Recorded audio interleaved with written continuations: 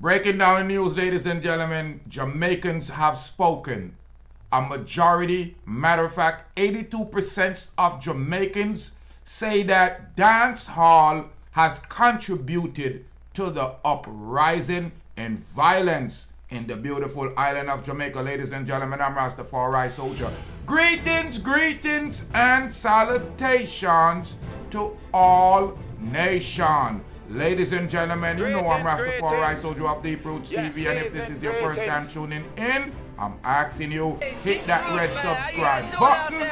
We're going to have a great relationship, ladies and gentlemen. Make sure you hit that notification bell.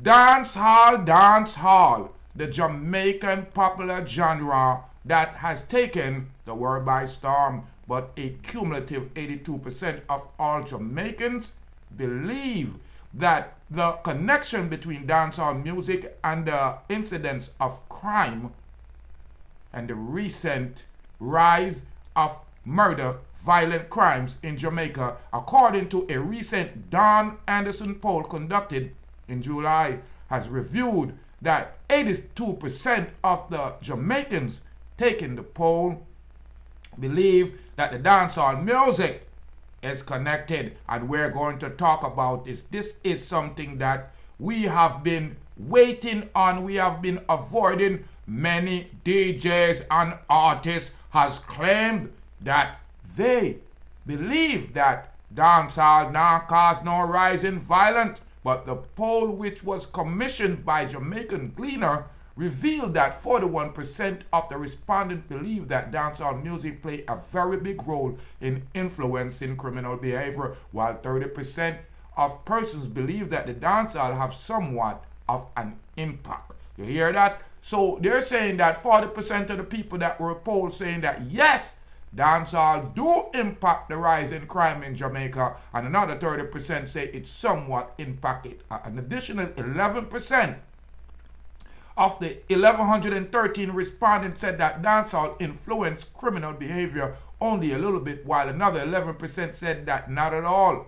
And 7% of the respondents said they were not sure. Me not know where them come from. Listen to me, my people. Music teaches the people. So when Bob Marley is singing Get Up, Stand Up, you see the people them reacting in a different way. But when Kartel or Bounty singing People for Dead, you see the people them reacting in a different way. Just put on two simple contrasts, Beres Hammond, um, Skeng, and then see the difference in the mood of the people. So you can't tell me say music don't influence the people. My granny say you to pick the beam out of you yai before you talk about the next one and the next person yai. And me I pick it out of Jamaican yai right now. The entertainers and the entertaining industry are responsible. Now the newspaper report, Don Anderson has said that said that the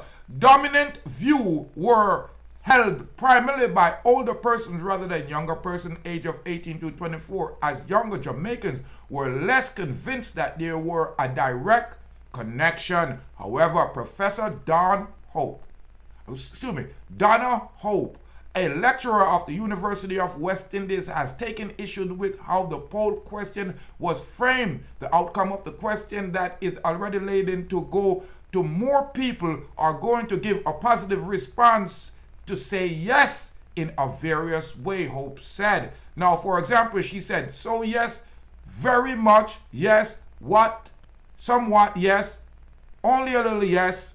So already the question is steered towards and structured towards going to have a positive response. She said the decision on this, they are discussing whether that dance dancehall music influence the criminal behavior has been a hot topic for debate, especially over the last two years, particularly since the rise of chop music and the arrest of several prominent dance hall musicians in the industry. In April last year, Downsound producer and reggae Sumfest market strategist Cardell Scatterburrell Deer to, to, to Daniel his way into the dancehall scene by saying the unlikely mentioned by saying musician compatriots like Sham and Bounty Killer and declare that the music has influence and it is a hypocritical position for them to disagree. Skatta commented that come in response to the article written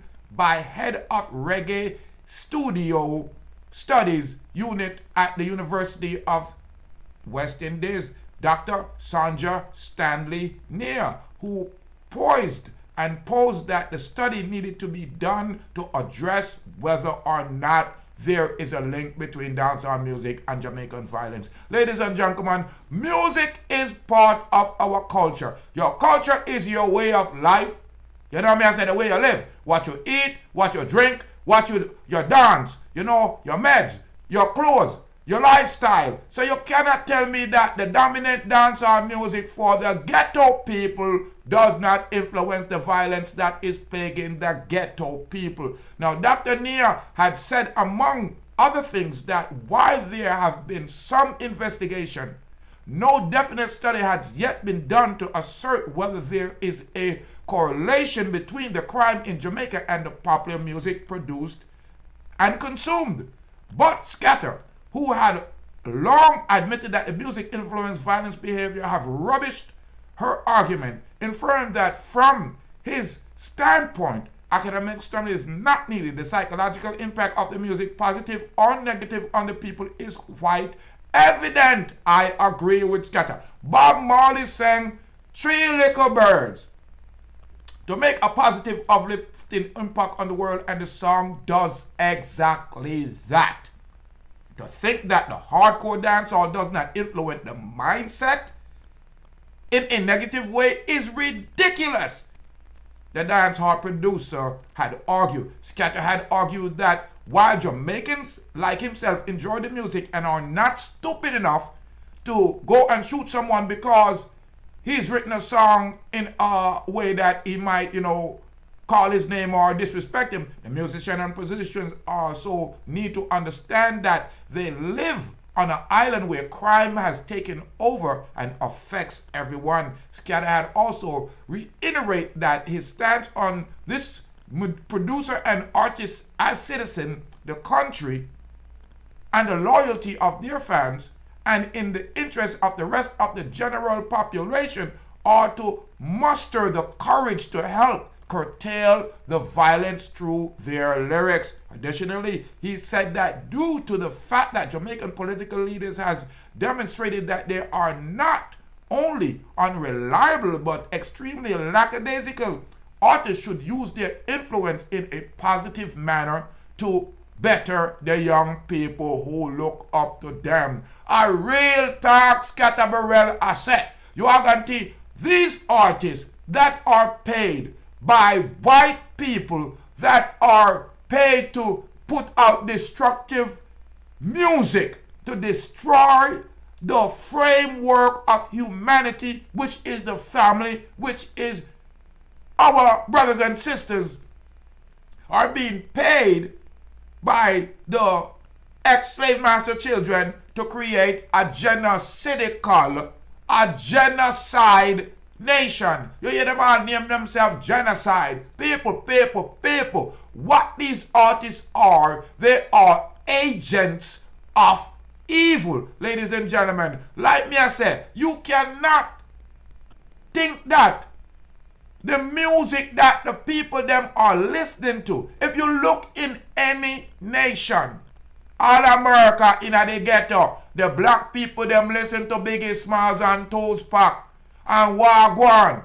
Pay a murder in the black community. So the music that we do listen to, it does, does influence the people. Skatta said that until Jamaican politicians change from their self-serving ways, it is imperative that the rest of the nation rise to the occasion and help their fellow countrymen and women who have been left to the mercy of the murderers and the violent producer. A month later, self-proclaimed dancehall defender Senator Damion Crawford had insisted that there was no links between crime and violent dancehall song. Of course, him is a lawyer who defend the murderer artist them. And the more violent and crime will go on, and the more client him have. Him no go talk bad about him number one clients, which are the dancehall artists, which are the people that were commit crime after coming from a dancehall that was revved up by the music that was being perpetuated and rained on them. Violence that was flinging to them through the tweeter and the mid-range and the bass. Now, the Senator Damion Crawford, in a statement which contrasted one made earlier by the PNP colleague, Councillor Michel Troupe, that violent dancehall music was driving up the crime rate and assertion by the Prime Minister Andrew Holness that there was a casual relationship between murder music and the island's murder rate. And that is obvious. You would have to be a straight dodo, an empty shell, like this fake Rasta lawyer here, our, our councilman, Damion Crawford. You are going to, you have to be a straight empty shell, Senator Crawford, to say that music does not influence people. And if we are perpetuating, proliferating, producing, consuming, and duplicating pure violent music, don't you think that the people them, the violence all grew up on the people them? Now Crawford argued that the criminals already have evil intention there in their heart and were not influenced by the music to engage in the heinous act and the majority of the people who listen to these tracks never engage in crime. I do agree that people do have evil in them, but when you have something urging them on, and especially when people don't have no daddy, they suffering from ADD, ain't no daddy at home.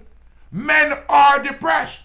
Nevertheless, he said that criminal ways are going to be criminal ways. Because the criminal may gravitate to violent music. It was only because that the criminals had a criminal intention already.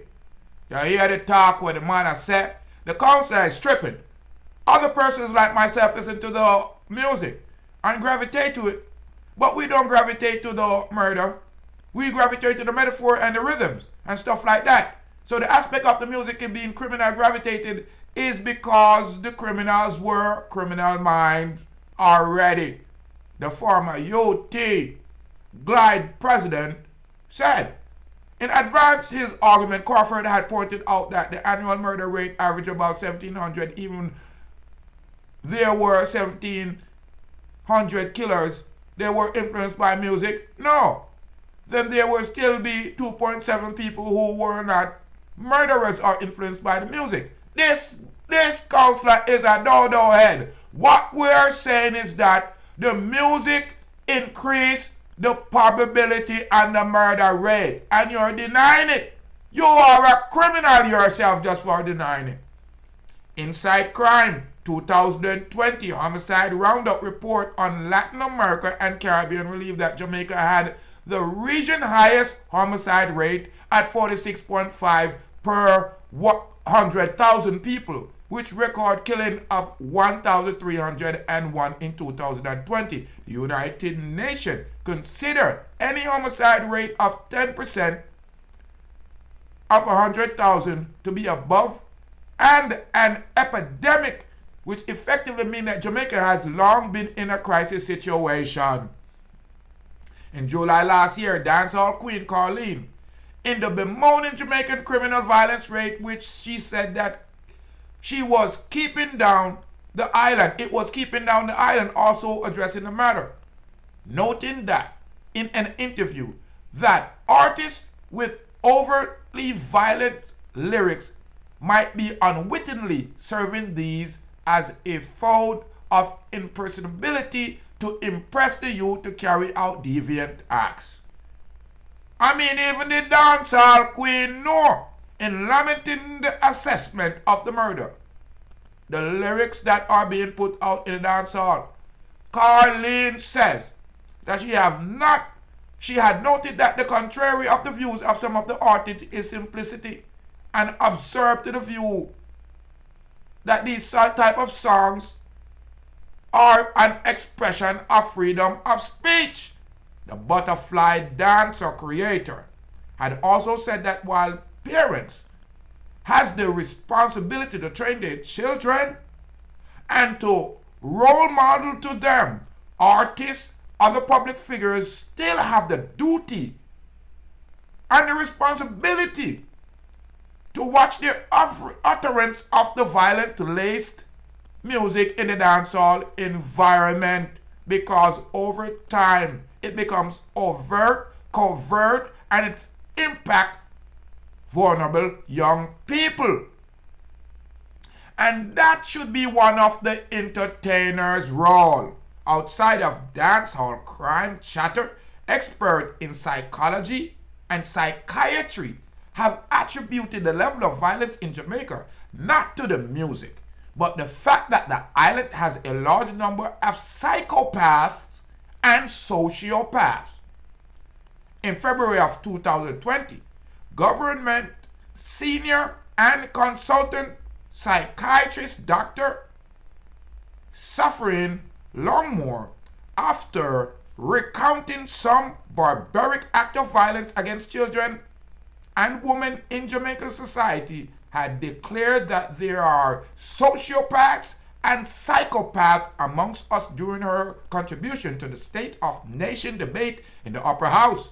Dr. Longmore had told the government that it was time to put funding behind mental health. She had also urged through argument in the Jamaican Constabulary Force to enroll the service of some criminal psychologists in their investigations. Studies conducted by the late emitting psychologist professor Frederick Hickling on antisocial behavior amongst them. A joint one with Dr. Greg, Gregory Godfrey, excuse me, Walcott in 2013 titled Personality Disorder in Convicted Jamaican Murderers concluded that antisocial personality disorder as an ethologue are pre prevalent of the homicidal violence representing a major public health problem in the contemporary Jamaica. The study found that 51% of murderers were diagnosed having an anti-soldier and an inadequate personality, and two-thirds were illiterate or barely literate. Professor Hickling had also conducted another joint study titled Population Prevalence of Personality Disorder in Jamaica in collaboration with clinical psychologist Vanessa Paisley in 2011, which revealed that not only was personality disorder prevalent in the island, but that nearly 1 million adult Jamaicans suffer from the personality disorder, and the island's high crime rate was linked to mental health. The two clinicians had also noted that the rate of personality disorder, approximately 40% in Jamaica population, is markedly higher than the international identified rate of 6 to 15. So Jamaica have 40% of personality disorder, which is a prerequisite for these heinous murderous crime. You are to heinous and murderous. Extrapolating these findings to our society, there is no wonder about high rate of murder and violence, rape, and other sexual atrocity that crimes such as theft and predatory larceny that are critical and cryptic of society. It cripples the society that two research noted that a joint letter to the Gleaner at that time. Professor Hickling had also said that if the findings do not influence public policy, then we are doomed to repeating the same mistake of the last hundred years or since independence, as many of the crime strategy employed by the social force have failed. As this scientific aspect of the crime problem has gone unaddressed. In introspection, the legislation will not work. It will not solve the problem we will continue to fail, Hicklinley said. Ladies and gentlemen, this is spot on. Now, you hear what the people them are saying. They're saying that we are sociopaths in Jamaica. Study conducted shows that we are psychopaths. Book titled The Personality Disorder in, con uh, in Convicted Jamaican Murderers.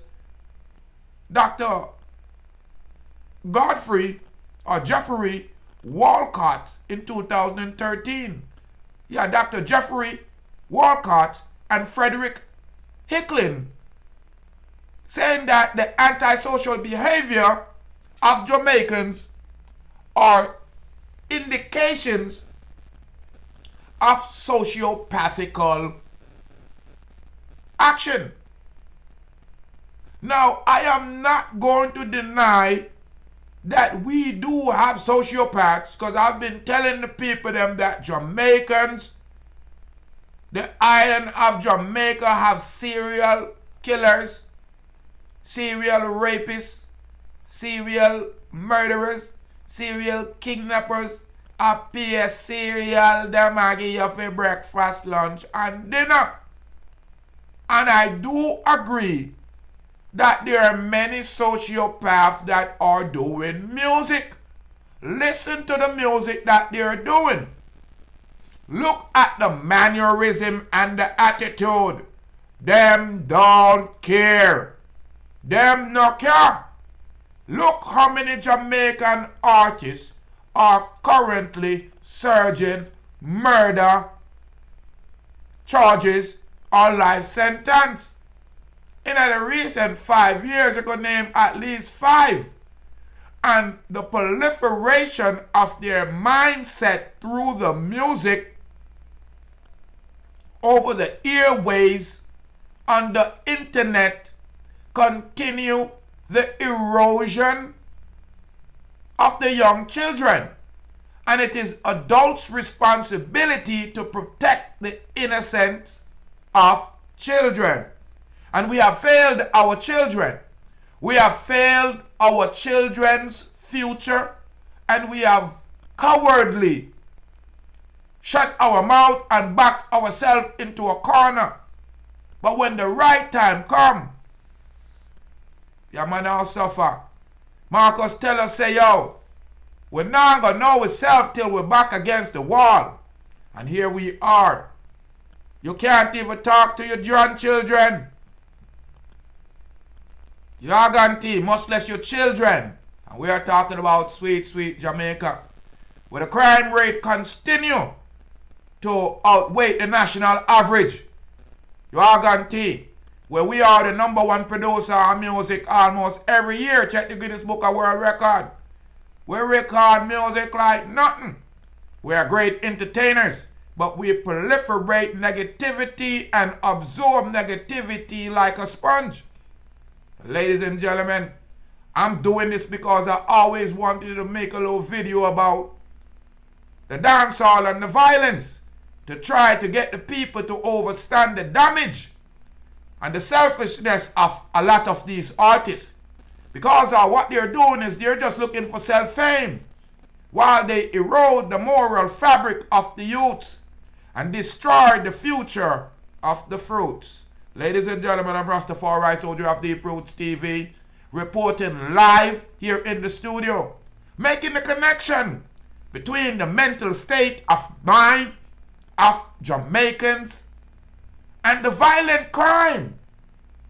The music teach the people, and if the music is constantly violent, then the people, some will absorb the violence through the music and get motivated or influenced.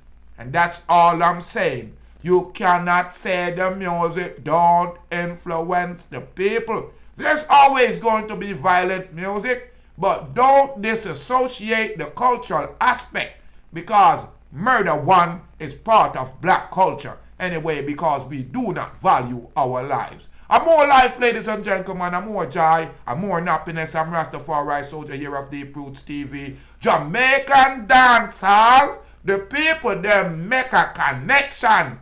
82% in accordance with the Anderson poll shows that 82% cumulatively Jamaicans believe that the dance hall violent lyrics have a influence on the murder rate and the violence that's in my beautiful island of Jamaica. Ladies and gentlemen, leave your comment if you agree. Even if you don't agree, leave your comment.